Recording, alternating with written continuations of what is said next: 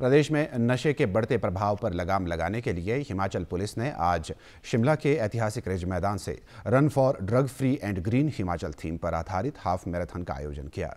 राज्यपाल शिव प्रताप शुक्ल ने इस मैराथन को हरी झंडी दिखाकर रवाना किया। मैराथन में पुलिस के अलावा स्कूल के विद्यार्थियों, विशेषकर अक्षम बच्चों ने भाग लेकर नशे के खिलाफ दौड़ लगाई। नशे के खिलाफ इस मैराथन में युवक व वृद्ध भी शामिल हुए। राज्यपाल ने कहा कि प्रदेश को नशा मुक्त करने में सभी का सहयोग महत्वपूर्ण है और सरकार भी इसके लिए काम कर रही है। उन्होंने ये भी कहा कि देवभूमि हिमाचल को नशा मुक्त करने के लिए प्रधानमंत्री नरेंद्र मोदी ने उन्हें प्रेरित किया है और इस तरह के अभियान लगातार चलते रहने चाहिए। हिमाचल प्रदेश की सरकार को भी मैं इसके लिए बधाई दूँगा कि वो भी ओकनी है। लेकिन सबसे बड़ी बधाई दूँगा कि मुझे इस बात के लिए प्रेरित किया देश के आदरणीय प्रधानमंत्री श्री नरेंद्र मोदी जी ने।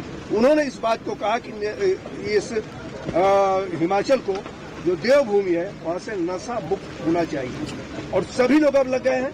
अभी अभी अभियान 26 तारीख को भी है, उसमें भी हम लोग जा रहे हैं, सत्ताईस को भी है, उसमें भी जा रहे हैं। और हिमाचल को पूरी तौर पर नशा मुक्त कर, करके रहेंगे।